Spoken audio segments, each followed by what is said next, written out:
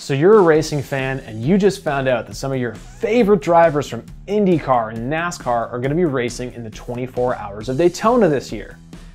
But you don't know what that is or how it works or any of that stuff and maybe you're new to IMSA racing altogether. Don't worry, we got you. So what is the 24 Hours of Daytona? Well, the Rolex 24 Hours of Daytona, or as I'll just call it from now on, the Rolex 24, it's a 24-hour sports car race at Daytona International Speedway in late January of each year. The race has taken many forms over the years and has been part of many different championships. Currently, it's the first race of the IMSA WeatherTech Sports Car Series calendar. So what is IMSA? Well, IMSA stands for the International Motorsports Association, and it's a North American road racing series owned by the same people that own NASCAR. Now let's get into the basics of the Rolex 24. Naturally, the race lasts 24 hours. It starts at around 2.30 p.m. on a Saturday and ends at 2.30 p.m. on Sunday. The race takes place at Daytona International Speedway's 3.56 mile road course configuration. It's a really cool track that uses the majority of the NASCAR oval, but also has a fast infield section known as the horseshoes. Since the race is 24 hours in length, teams employ crews of three or four drivers working in shifts or stints to complete the race. But don't think that you can just stack your car with one awesome driver and have them drive most of the race. The rulebook currently states that no driver can drive more than 13 hours in total and no more than 4 hours of every 6 hour segment.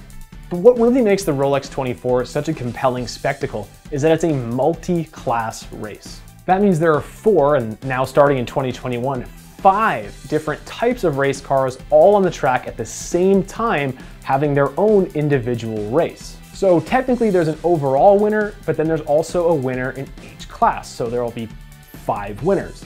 It sounds confusing, but let me explain it to you like this. So let's say that you entered a 5K foot race and you crossed the finish line at 28th. So you finished 28th overall, but you were first in your age group, meaning that you won your age group, so you won your class. See, that's so simple to understand. I just thought of the simplest way to explain multi-class racing to people. I'm really proud of that.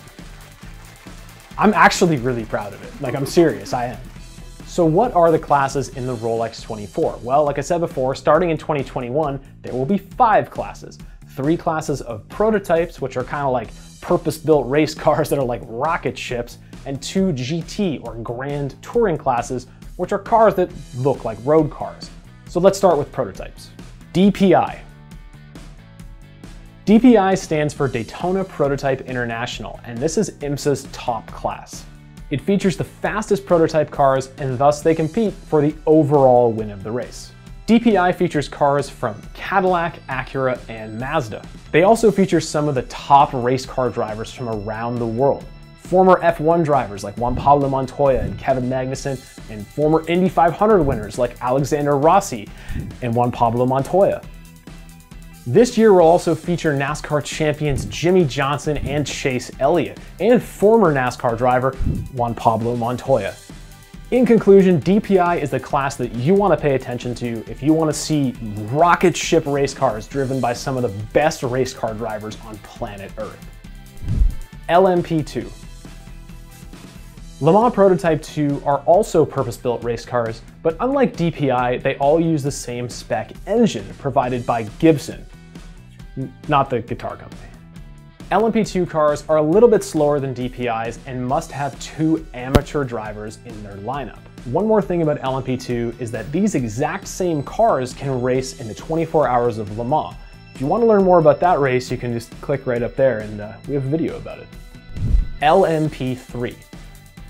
Le Mans Prototype 3 is a new class for the Rolex 24 in 2021. It's another prototype class that's a little bit slower than LMP2 and features predominantly all amateur driver lineups.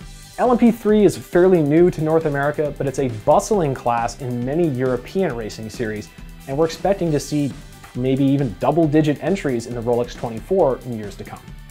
GTLM. GTLM features vehicles based on road-going cars from manufacturers like Corvette, BMW, and Porsche. Most of the teams are fully manufacturer supported efforts and like DPI feature full pro driver lineups. GTLM is the fastest of the two GT classes, and like LMP2, these exact same cars race in the 24 hours of Le Mans, thus the name GT Le Mans. GTD. Last but not least is IMSA's Pro-Am GT class GT Daytona. These cars are also based off road-going cars like the Lexus RCF, the Porsche 911, and the Lamborghini Huracan, this class mandates a minimum of two amateur drivers per four driver lineup and features many luxuries like anti-lock brakes. GTD is the slowest of the five classes at the Rolex 24, but it honestly features some of the best racing. It has become my favorite class to watch. After 24 hours of on-track battling, the winners in each class are rewarded with a Rolex Daytona watch and then everyone goes to sleep for like two straight days because they've all been up for like 40 hours. So that's the gist of the 24 hours of Daytona. Hopefully now you can watch this race with a pretty good idea of what's going on. But like any sport, there's lots of little nuances and rules that you're gonna learn as we go. I'm a seasoned pro at watching this race, and there's still stuff I learn every year. What are some other races that you'd like a beginner's guide to? Let us know in the comments below. And if you're a NASCAR fan watching this video, you can check out a video we made about NASCAR teams that have owned sports car teams by clicking this link right here. And be sure to like and subscribe to our channel.